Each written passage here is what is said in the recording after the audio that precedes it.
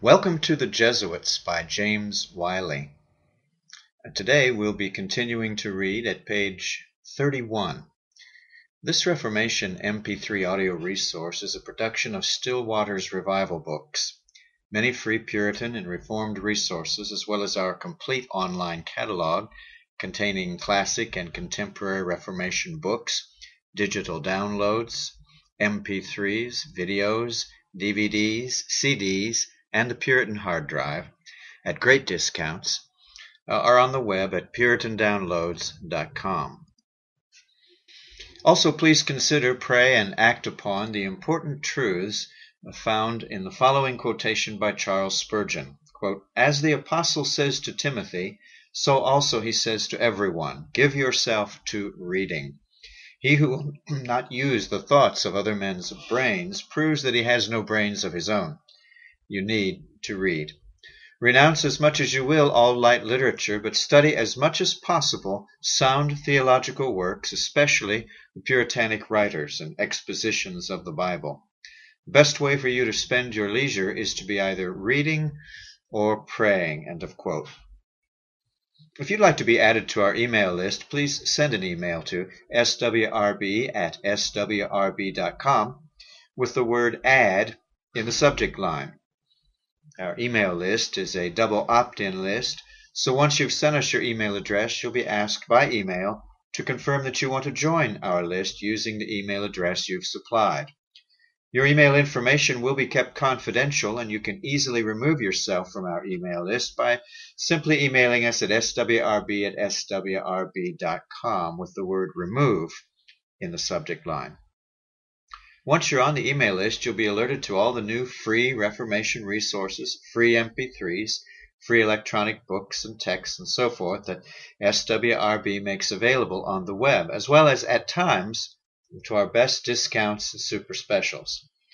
We also encourage you to reproduce this audio resource and to pass it on to your friends, but we only authorize this as long as the full contents of the message, including the header and trailer, is not altered in any way, and as long as the audio file is given away for free.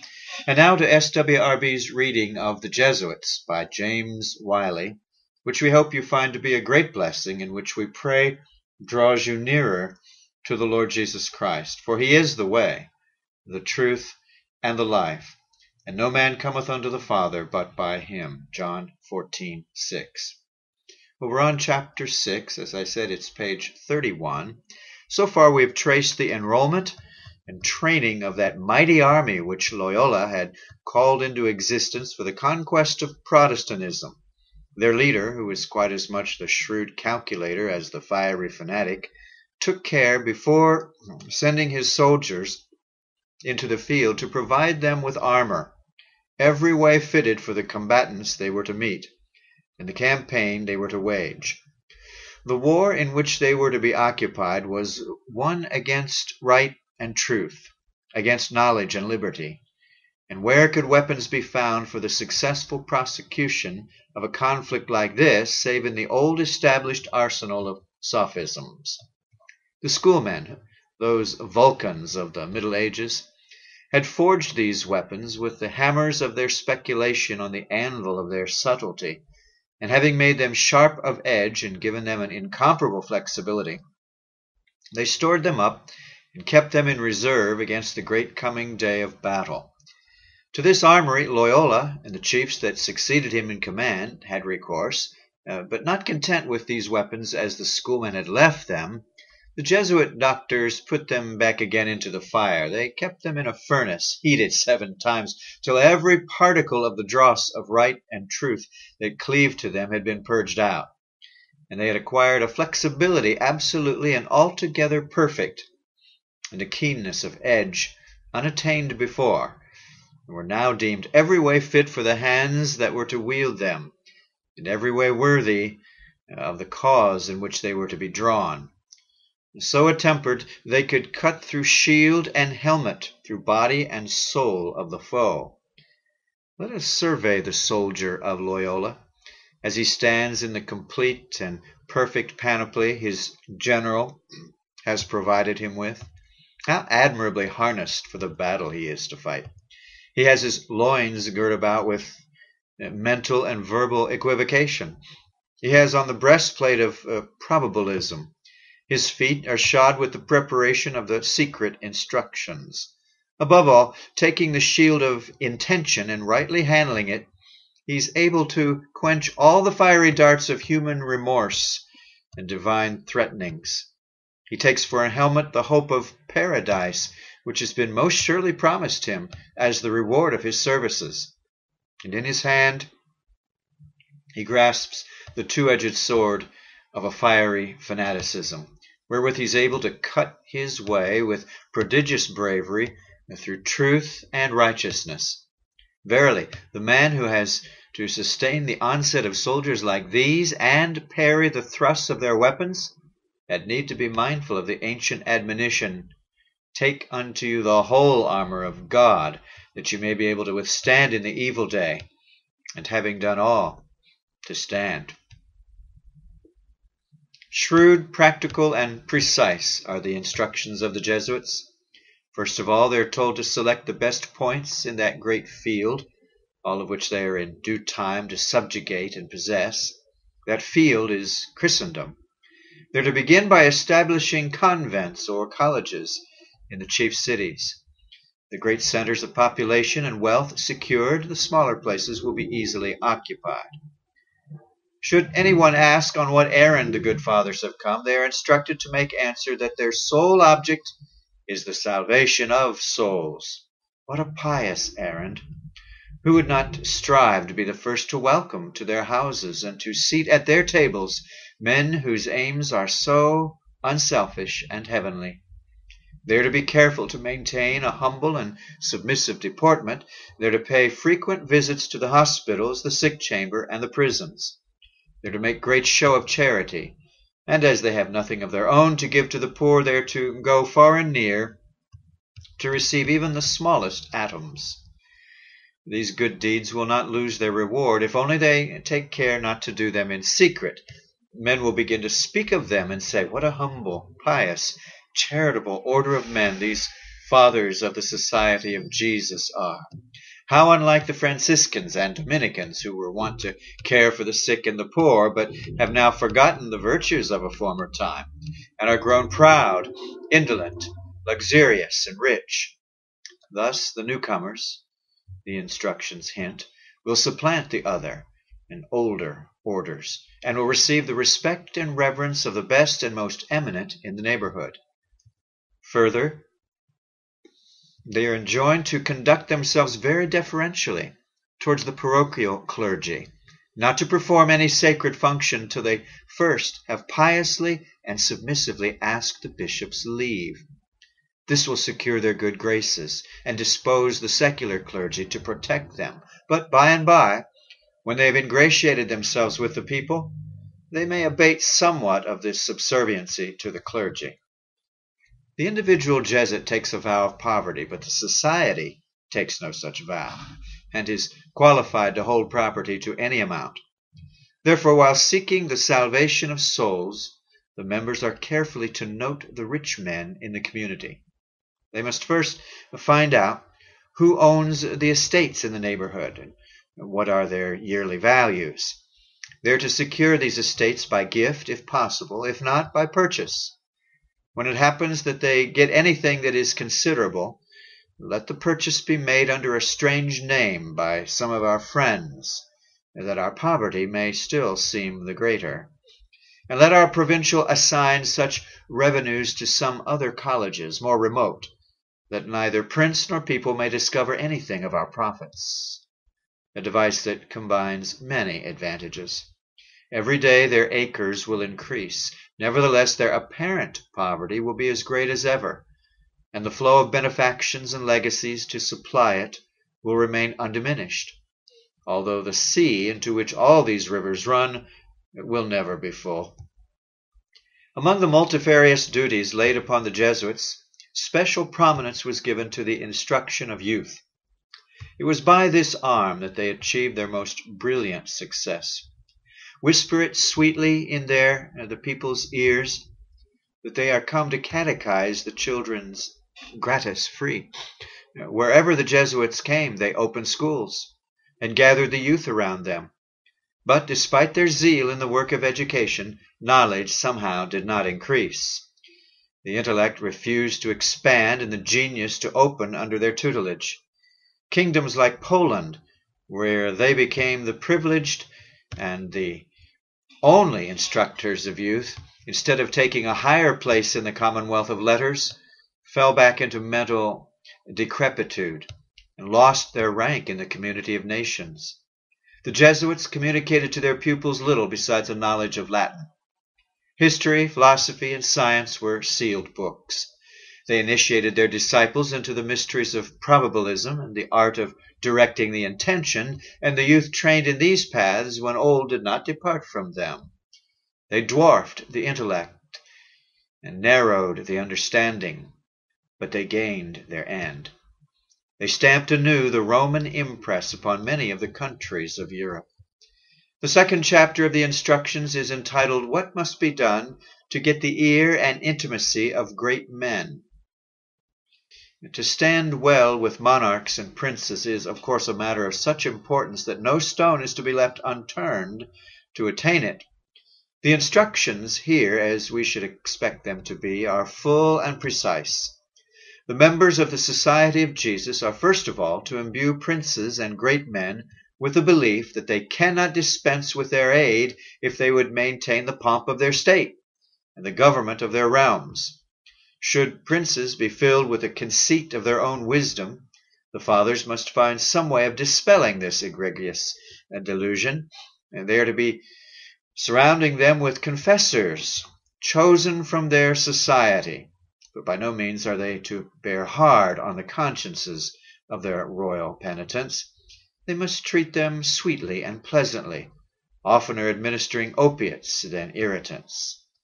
They are to study their humors, and if in the matter of marriage they should be inclined, as often happens with princes, to contract alliance with their own kindred, they are to smooth their way by hinting at a dispensation from the Pope or finding some palliative for the sin from the pharmacopoeia of their theology. They may tell them that such marriages, though forbidden to the commonalty, are, are sometimes allowed to princes for the greater glory of God. If a monarch is bent on some enterprise, a war, for example, the issue of which is doubtful, they are to be at pains uh, so to shape their counsel in the matter that if the affair succeeds they shall have all the praise, and if it fails the blame shall rest with the king alone. And lastly, when a vacancy occurs near the throne, they are to take care that the empty post shall be filled by one of the tried friends of the society, of whom they are enjoined to have at all times a list in their possession. It may be well, in order to still more to advance their interests at courts, to undertake embassies at times.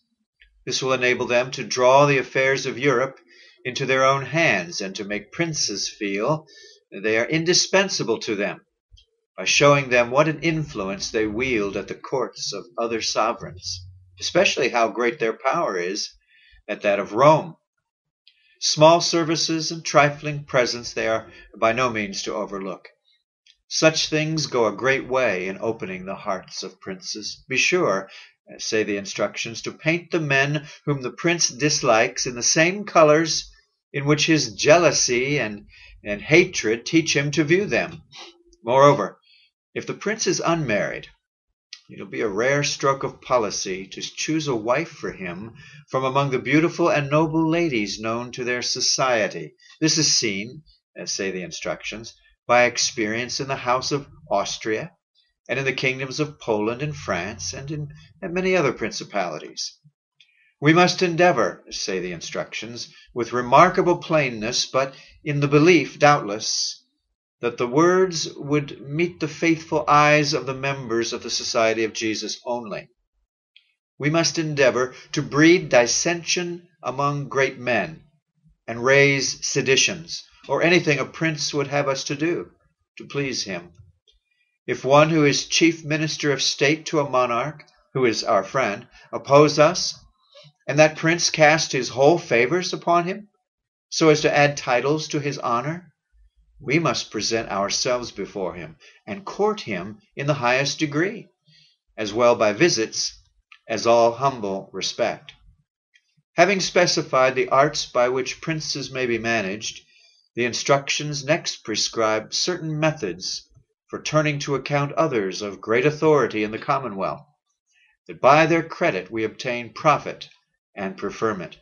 If, say the instructions, these lords be seculars, we ought to have recourse to their aid and friendship against our adversaries, and to their favor in our own suits and, and those of our friends, and to their authority and power in the purchase of houses, manors, and gardens, and of stones to build with, especially in those places that will not endure to hear of our settling in them, because the authority of these lords serveth very much for the appeasing of the populace and making our ill willers quiet.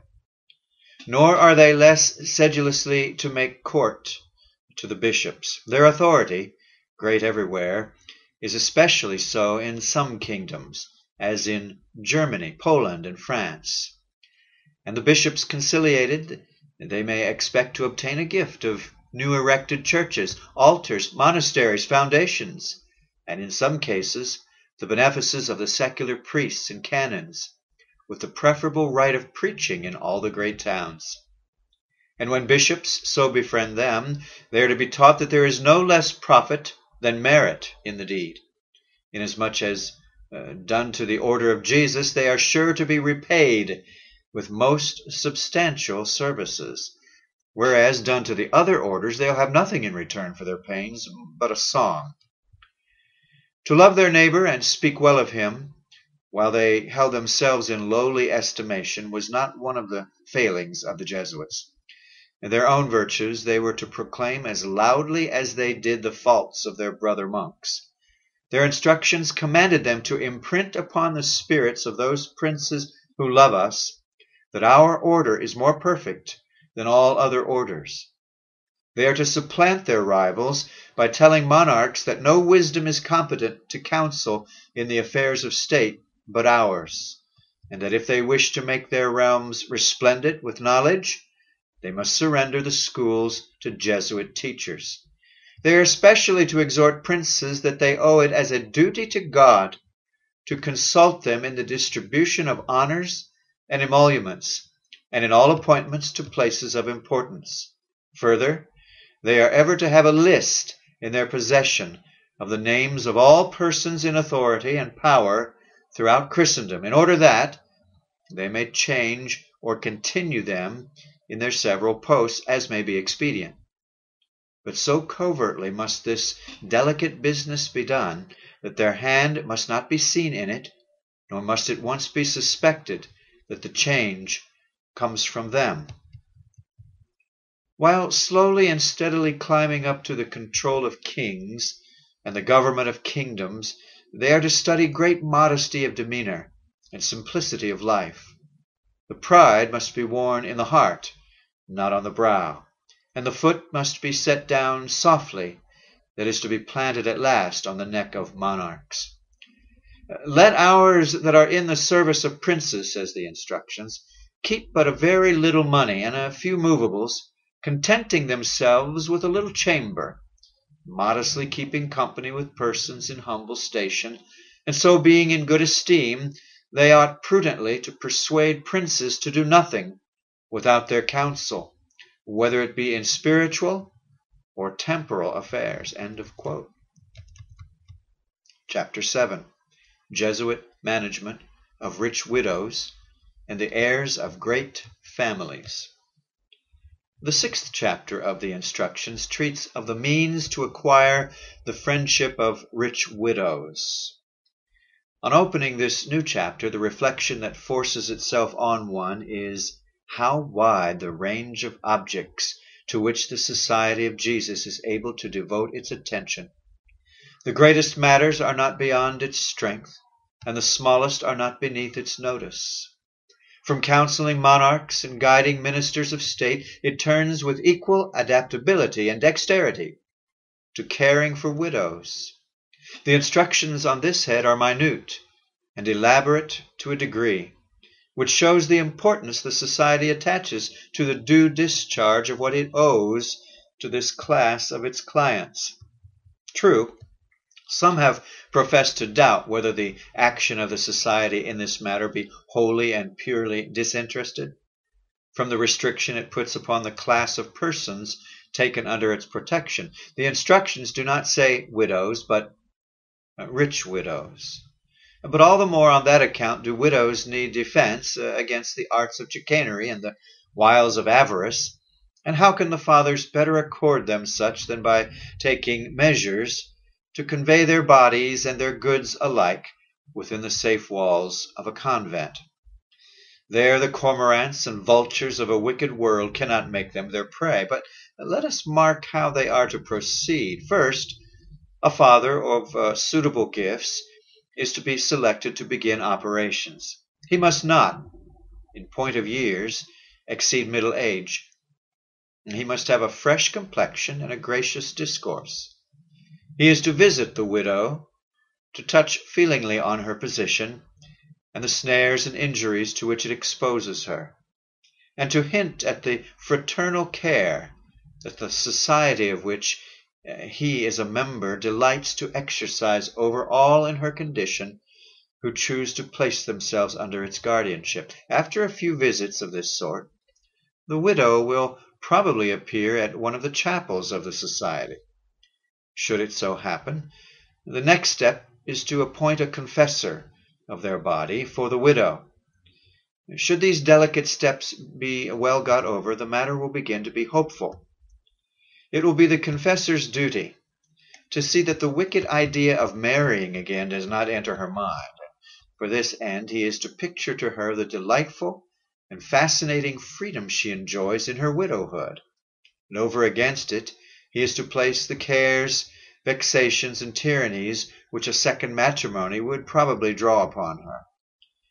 To second these representations, the confessor is empowered to promise exemption from purgatory, should the holy estate of widowhood be persevered in.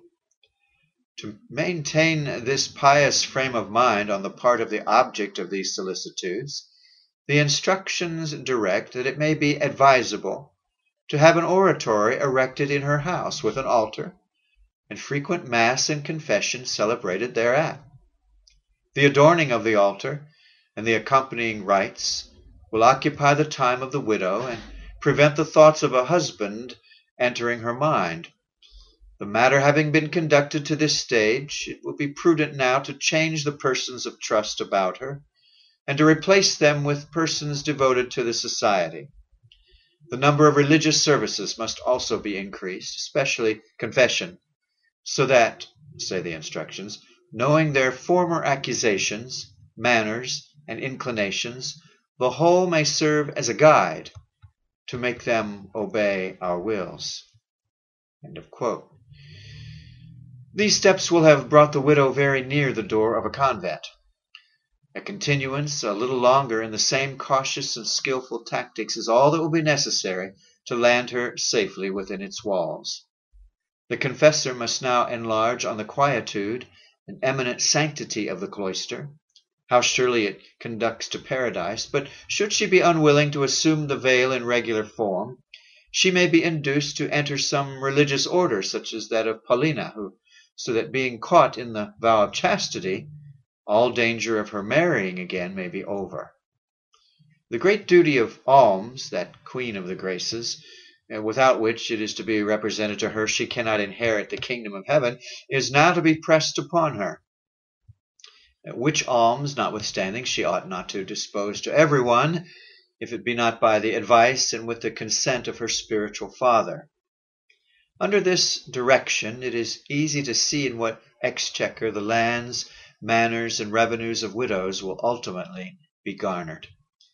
But the fathers deemed it inexpedient to leave such an issue the least uncertain, and accordingly the seventh chapter enters largely into the means of keeping in our hands the disposition of the estates of widows.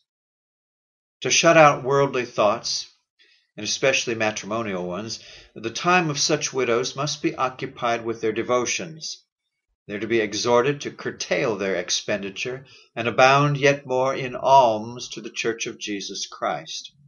A dexterous confessor is to be appointed them. They are to be frequently visited and entertained with pleasant discourse. They are uh, to be persuaded to select a patron or tutelary saint, say uh, St. Francis or St. Xavier. Provision is to be made that all they do may be known by placing about them only persons recommended by the society.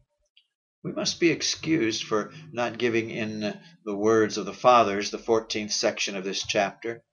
That section gives their proteges great license. Indeed, all license provided they be liberal and well affected to our society, and that all things be carried cunningly and without scandal.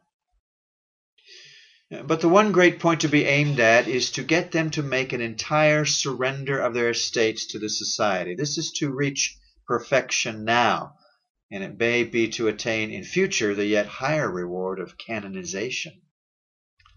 But should it so happen, from love of kindred or other motives, that they have not endowed the poor companions of Jesus with all their worldly goods when they come to die, the preferable claims of the Church of Jesus Christ to those of kindred are to be urged upon them, and they are to be exhorted to contribute to the finishing of our colleges, which are yet imperfect, for the greater glory of God, giving us lamps and pyxes, and, and for the building of other foundations and houses which we, the poor servants of the society of Jesus, do still want, that all things may be perfected. Quote, Let the same be done with princes, the instructions go on to say, and our other benefactors who build us any sumptuous pile or erect any foundation, representing to them in the first place that the benefits they thus do us are consecrated to eternity that they shall become thereby perfect models of piety, that we will have thereof a very particular memory, and that in the next world they shall have their reward.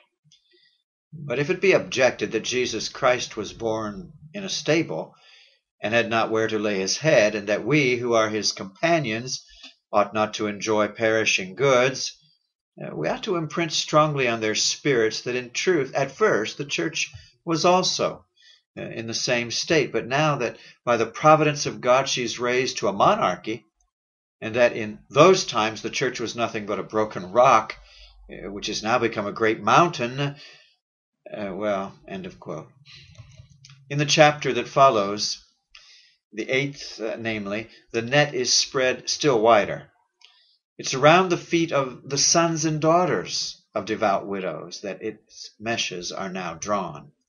The scheme of machination and seduction unfolded in this chapter differs only in its minor points from that which we have already had disclosed to us. We pass it, therefore, and go on to the ninth chapter, where we find the scheme still widening, and wholesale rapacity and extortion, sanctified, of course, by the end in view, still more openly avowed and enjoined.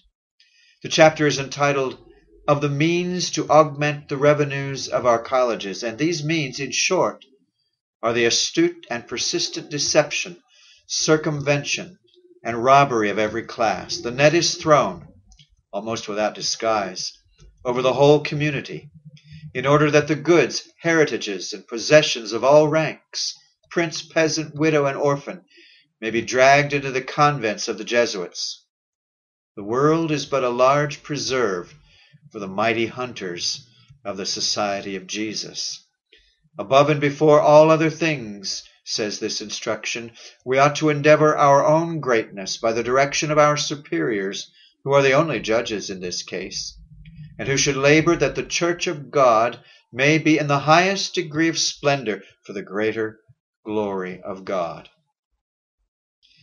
In prosecution of this worthy end, the secret instructions enjoin the fathers to visit frequently at rich and noble houses, and to inform themselves prudently and dexterously uh, whether they will not leave something to our churches in order to the obtaining remission of their sins and of the sins of their kindred. Confessors and only able and eloquent men are to be appointed as confessors to princes and statesmen are to ascertain the name and surname of their penitents, the names of their kindred and friends, whether they have hopes of succeeding to anything, and how they mean to dispose of what they already have or may yet have, whether they have brothers, sisters, or heirs, and of what age, inclination, and education they are. And they should persuade them that all these questions do tend much to the clearing of the state of their conscience.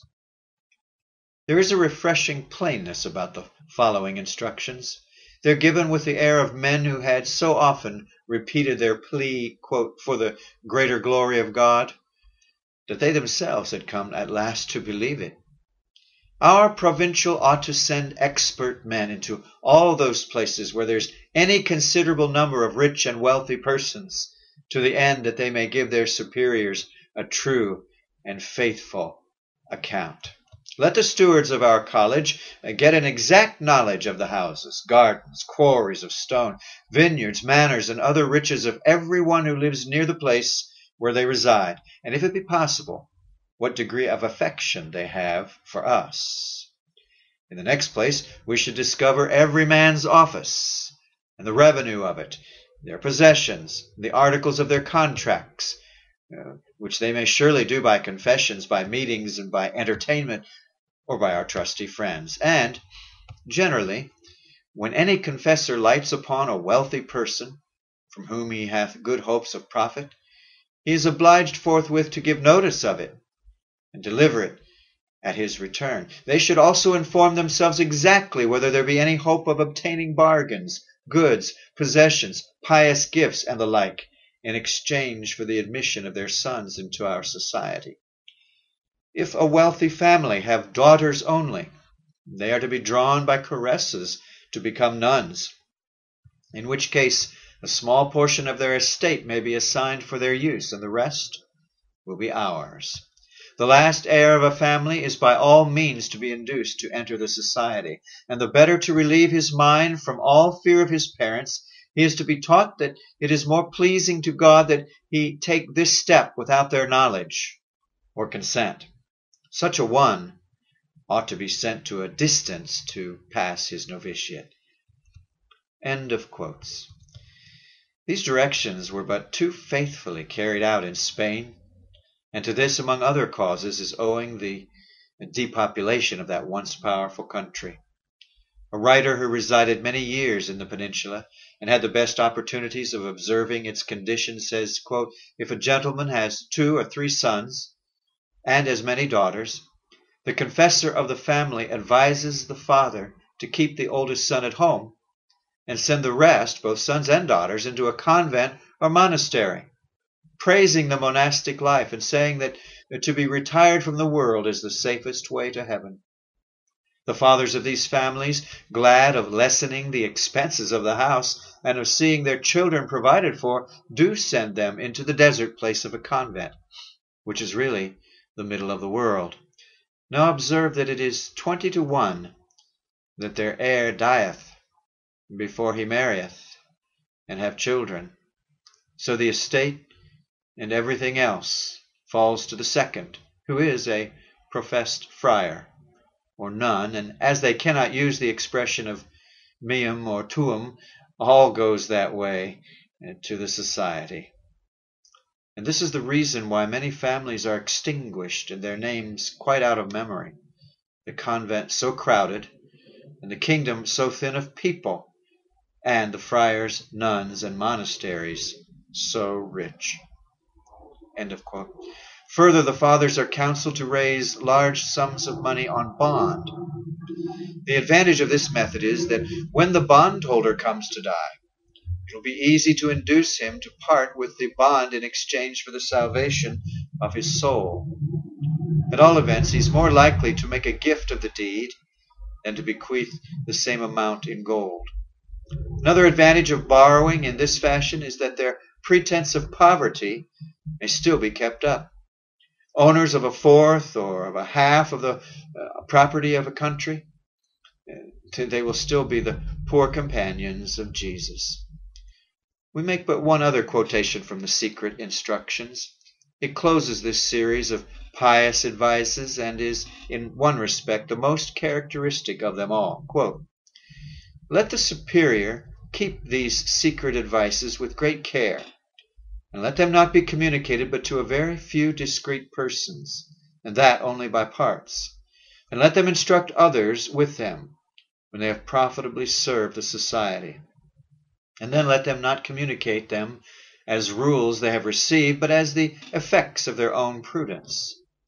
But if they should happen to fall into the hands of strangers who should give them an ill sense of construction, let them be assured the society owns them not in that sense, which shall be confirmed by instancing those of our order who assuredly know them not.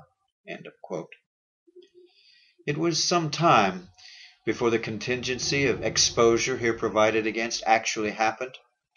But in the beginning of the seventeenth century the accidents of war dragged these secret instructions from the darkness in which their authors had hoped to conceal them from the knowledge of the world.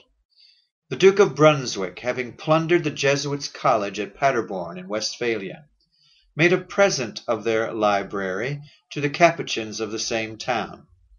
Among the books which had thus come into their possession was found a copy of the Secret Instructions. Another copy is said to have been discovered in the Jesuits' college at Prague. Soon thereafter, reprints and translations appeared in Germany, Holland, France, England. The authenticity of the work was denied, as was to be expected, for any society that has is astute enough to compile such a book would be astute enough to deny it. To only the fourth or highest order of Jesuits were these instructions to be communicated. The others, who were ignorant of them in their written form, were brought forward to deny an oath, on oath that such a book existed, but their protestations weighed very little against the overwhelming evidence on the other side. The perfect uniformity of the methods followed by the Jesuits in all countries favored a presumption that they acted upon a prescribed rule, and the exact correspondence between their methods and the secret advices showed that this was the rule. Gretze, a well known member of the society, affirmed that the Secreta Monita was a forgery by a Jesuit who had been dismissed with ignominy from the society in Poland, and that he published it in 1616. But the falsehood of the story was proved by the discovery in the British Museum of a work printed in 1596, 20 years before the alleged forgery, in which the Secreta Monita is copied. Since the first discovery in Paderborn, copies of the Secreta Monita have been found in other libraries, as in Prague, noted above. Numerous editions have since been published, and in so many languages that the idea of collusion is out of the question. These editions all agree, with the exception of a few unimportant variations in the reading. These private directions, says M. L'Estrange, are quite contrary to the rules, constitutions, and instructions which this society professeth publicly in those books it hath printed on this subject, so that without difficulty we may believe that the greatest part of their governors, if a very few be excepted especially, have a double rule as well as a double habit uh, one for their private and particular use, and another to flaunt with before the world. Now, chapter 8 Diffusion of the Jesuits throughout Christendom. The soldiers of Loyola are about to go forth. Before beginning the campaign, we see their chief assembling them and pointing out the field on which their prowess is to be displayed. The nations of Christendom are in revolt.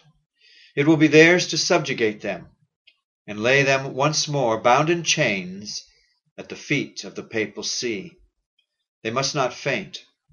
The arms he has provided them with are amply sufficient for the arduous warfare on which he sends them. Clad in that armor and wielding it in the way he has shown them, they will expel knowledge as night chases away the day. Liberty will die wherever their foot shall tread. And in the ancient darkness they'll be able to rear again the fallen throne of the great hierarch of Rome. But if the service is hard, the wages will be ample. As the saviors of that throne, they will be greater than it. And though meanwhile their work is to be done in great show of humility and poverty, the silver and the gold of Christendom will in the end be theirs. They'll be the lords of its lands and palaces, the masters of the bodies and the souls of its inhabitants, and nothing of all that the heart can desire will be withheld from them, if only they will obey him. Jesuits rapidly multiplied, and were now to follow them in their peregrinations over Europe, going forth in little bands, animated with an entire devotion to their general, schooled in all the arts which could help to further their mission, they planted themselves in a few years in all the countries of Christendom, and made their presence felt in the turning of the tide of Protestantism, which till then had been on the flow. There was no disguise they could not assume, and therefore there was no place into which they could not penetrate.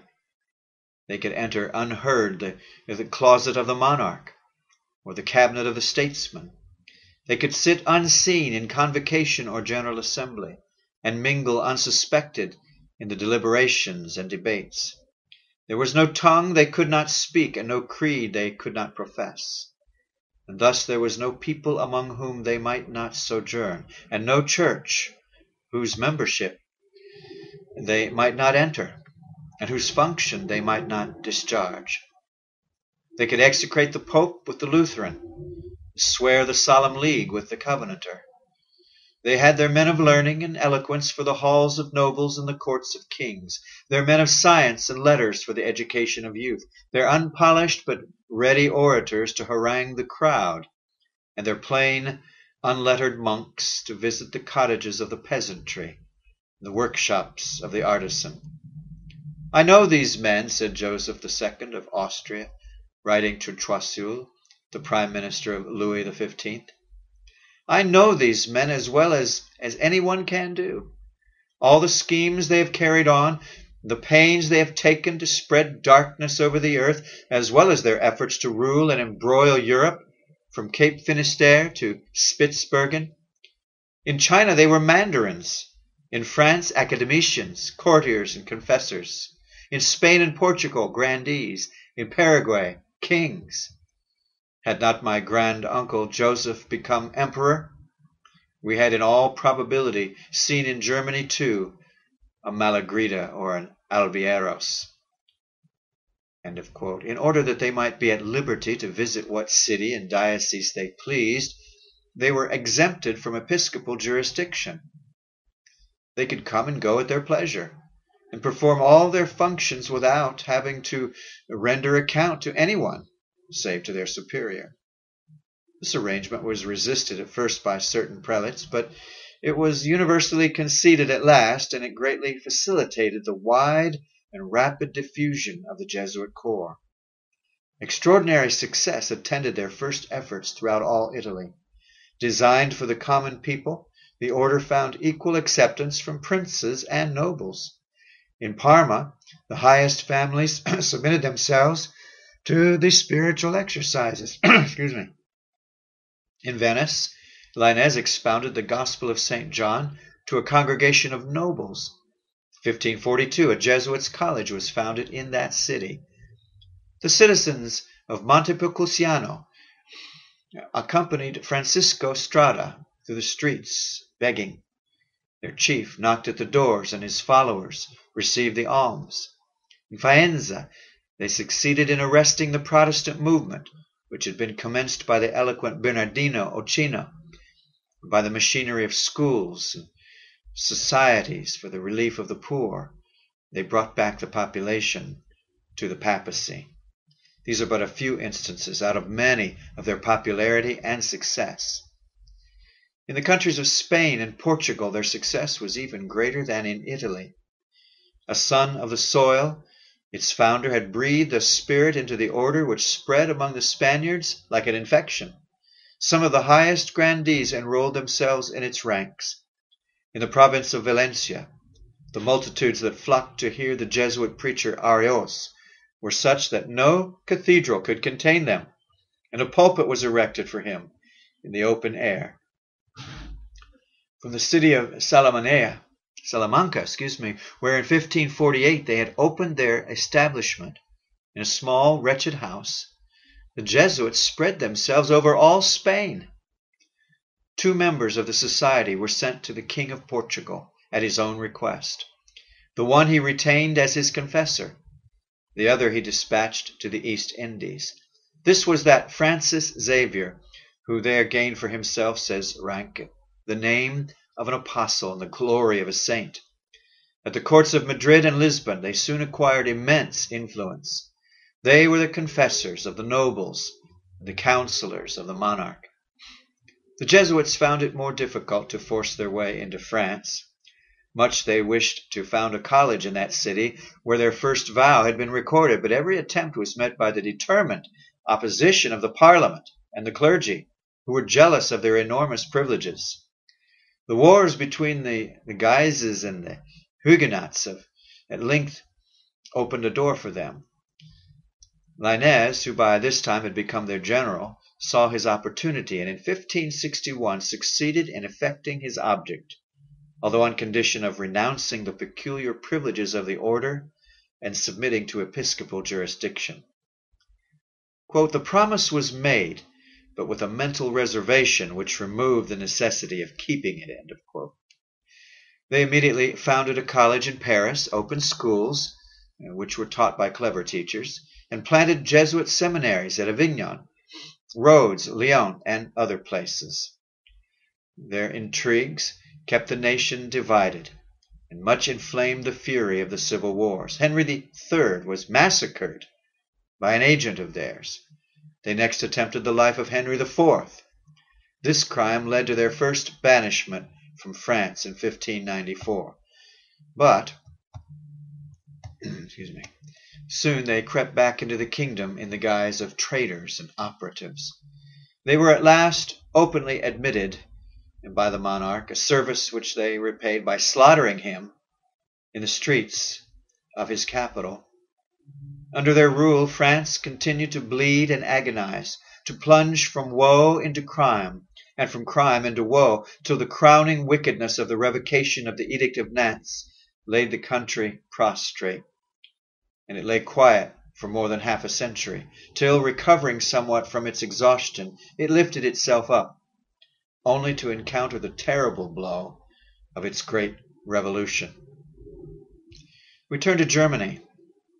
Here it was that the Church of Rome had suffered her first great losses, and here, under the arms of the Jesuits, was the destined she was destined to make a beginning of those victories which recovered not a little of the ground that she had lost. A generation had passed away since the rise of Protestantism. It's the year 1550. The sons of the men who had gathered round Luther occupy the stage when the van of this great invading host makes its appearance. They come in silence. They're plain in their attire, humble and submissive in their deportment. But behind them are the stakes and scaffolds of the persecutor and the armies of France and Spain. Their quiet words find their terrible reverberations in those awful tempests of war which for thirty years desolated Germany. Ferdinand I of Austria, reflecting on the decay into which Roman Catholic feeling had fallen in Germany, sent to Ignatius Loyola for a few zealous teachers to instruct the youth of his dominions. 1551, thirteen Jesuits including Le Jay, arrived at Vienna. They were provided with pensions, placed in the university chairs, and crept upwards till they seized the entire direction of that seminary. From that hour date the crimes and misfortunes of the House of Austria. A little colony of the disciples of Loyola had before this planted itself at Cologne. It was not till some years that they took root in that city but the initial difficulties surmounted, they began to effect a change in public sentiment, which went on till Cologne became, as it is sometimes called, the Rome of the North. About the same time, the Jesuits became flourishing in Ingolstadt. They had been driven away on their first entrance into that university seat, the professors dreading them as rivals. But in 1556 they were recalled and soon rose to influence, as to, was to be expected in a city where the memory of Dr. Eck was still fresh. Their battles, less noisy than his, were fated to accomplish much for the papacy. From these three centers, Vienna, Cologne, and Ingolstadt, the Jesuits extended themselves over all Germany. They established colleges in the chief cities for the sons of princes and nobles, and they opened schools in town and village for the instruction of the lower classes. From Vienna they distributed their colonies throughout the Austrian dominions. They had schools in the Tyrol and the cities at the foot of its mountains. From Prague they ramified over Bohemia and penetrated into Hungary. Their colleges at Ingolstadt and Munich gave them possession of Bavaria, Franconia, and Swabia. From Cologne they extended their convents and schools over Rhenish Prussia, and planting a college at Spires, they counteracted the influence of Heidelberg University, then the uh, resort of the most learned men of the German nation. Wherever the Jesuits came, there was quickly seen a manifest revival of the popish faith. In the short space of ten years, their establishments had become flourishing in all the countries in which they were planted. Their system of education was adapted to all classes. While they studied the exact sciences and strove to rival the most renowned of the Protestant professors, and so draw the higher youth into their schools, they compiled admirable catechisms for the use of the poor. They especially excelled as teachers of Latin, and so great was their zeal and their success that even Protestants removed their children from distant schools to place them under the care of the Jesuits. Teachers seldom failed to inspire the youth in their schools with their own devotion to the popish faith. The sons of Protestant fathers were drawn to confession, and by and by into general conformity to popish practices. Food which the church had forbidden they would not touch on the interdicted days, although it was being freely used by the other members of the family. And they began, too, to distinguish themselves by the use of popish symbols. The wearing of crosses and rosaries is recorded by Ranke as one of the first signs of the setting of the tide toward Rome. Forgotten rites began to be revived. Relics which had been thrown aside, buried in darkness, were sought out and exhibited to the public gaze. The old virtue returned into rotten bones, and the holiness of faded garments flourished anew. The saints of the church came out in bold relief, while those of the Bible receded into the distance. The light of candles replaced the word of life in the temples. The newest fashions of worship were imported from Italy, and music and architecture in the style of the Restoration were called in to reinforce the movement. Customs which had not been witnessed since the days of their grandfathers began to be received by reverent observance of the new generation. In the year 1560, the youth of Ingolstadt, belonging to the Jesuit school, walked two and two on a pilgrimage to Eichstatt in order to be strengthened for their confirmation by the dew that dropped from the tomb of St. Walpurgis. The modes of thought and feeling thus implanted in the schools were, by means of preaching and confession, propagated through the whole population. While the Jesuits were busy in the seminaries, the Pope operated powerfully in the political sphere. He had recourse to various arts to gain over the princes. Duke Albert V of Bavaria had a grant made him of one tenth of the property of the clergy. This riveted his decision on the side of Rome, and he now set himself with earnest zeal and marked success to restore, in its ancient purity and vigor, the popery of his territories. The Jesuits lauded the piety of the Duke who was a second Josias, a new Theodosius. The popes saw clearly that they could never hope uh, to restore the ancient discipline and rule of their church without the help of the temporal sovereigns. besides Duke Albert, who so powerfully contributed to reestablish the sway of Rome over all Bavaria, the ecclesiastical princes who governed so large a part of Germany threw themselves heartily into the work of restoration. The Jesuit Canisius, a man of blameless life, of consummate address, and whose great zeal was regulated by an equal prudence, was sent to counsel and guide them. Under his management they accepted provisionally the edicts of the Council of Trent. They required of all professors in colleges subscription to a confession of the popish faith. They exacted the same pledge from ordinary schoolmasters and medical practitioners. In many parts of Germany no one could follow a profession till first he had given public proof of his orthodoxy. Bishops were required to exercise a more vigilant superintendence of their clergy than they had done these twenty years past. The Protestant preachers were banished, and in some parts the entire Protestant population was driven out. Protestant nobles were forbidden to appear at court. Many withdrew into retirement but others purchased their way back by a renunciation of their faith. By these and similar arts, Protestantism was conquered on what may be regarded as its native soil. If not wholly rooted up, it maintained henceforward but a languishing existence. Its leaf faded, and its fruit died in the mephitic air around it, while Romanism shot up in fresh strength and robustness. A whole century of calamity followed the entrance of the Jesuits into Germany.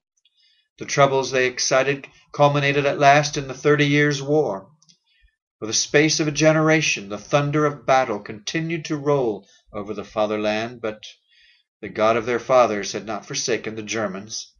It pleased him to summon from the distant Sweden Gustavus Adolphus, and by his arm to save the remnants of Protestant liberty in that country.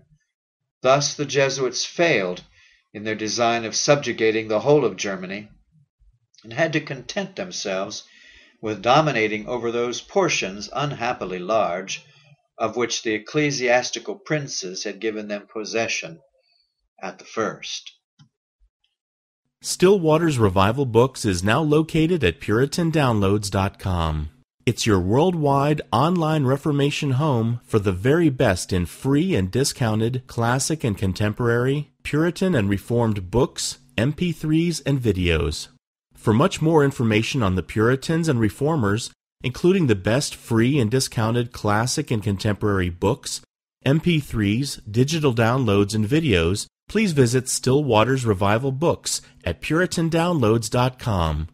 Still Waters Revival Books also publishes the Puritan Hard Drive, the most powerful and practical Christian study tool ever produced. All thanks and glory be to the mercy, grace, and love of the Lord Jesus Christ for this remarkable and wonderful new Christian study tool.